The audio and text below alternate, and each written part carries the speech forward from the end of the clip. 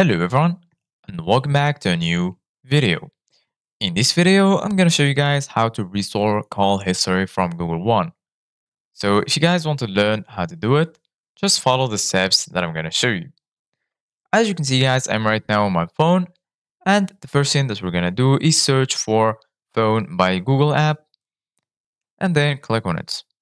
Once you click on it, if it's the first time you open the app, we're going to ask you to set phone as default. Phone can only start and receive calls if, if it's your default phone app. So we're going to click set as default. And right here, you're going to find your uh, default phone application and you can switch to Google Phone. This app will be allowed to send you notifications and will be given access to your camera, contacts, microphone, phone, and SMS go ahead and click on set as default and then all of your calls will be uh, added right here.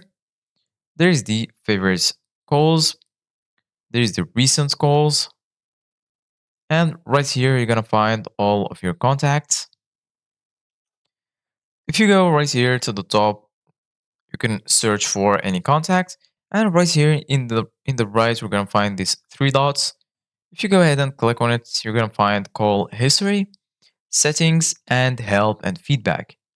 You can click on settings and right here you're going to find all of the uh, settings related to this application like caller ID and spam, accessibility, assisted dialing, blocked number, calling accounts, display options, nearby places, sounds and vibration, voicemail, call ID announcements, and lastly, flip to silence.